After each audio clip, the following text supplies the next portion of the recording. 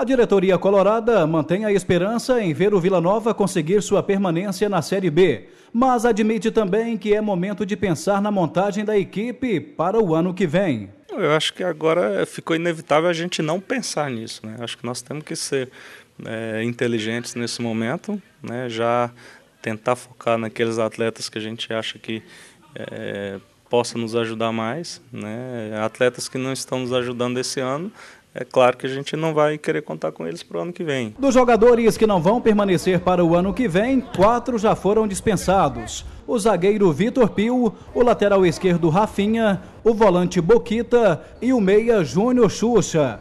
O ex-atacante que deu tantas alegrias ao torcedor colorado, hoje é diretor de futebol. Rony diz estar bastante decepcionado com o time que foi montado e com o projeto que não deu certo. Com certeza eu, eu sou a pessoa que está mais decepcionada com o desempenho do time, porque foram jogadores que a gente analisou bastante para trazer, a gente buscou informações de todos os lados e infelizmente as coisas não aconteceram. É, pela minha experiência eu sei que às vezes isso pode ser normal no futebol, mas isso não tira nem um pouco a minha frustração.